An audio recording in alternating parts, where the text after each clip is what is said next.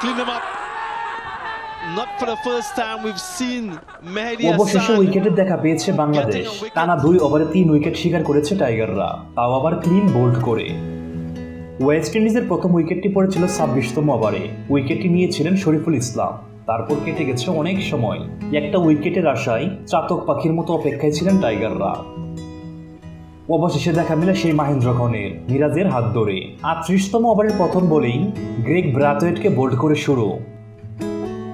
তারপরের ওভারের প্রথম বলেই আবার খালেদ আহমেদ রেইফারকে বোল্ড করেন। আর ওভারের শেষ বলে আবারও খালেদ বোনারের উইকেটটি উঠিয়ে নেন বোল্ড করে।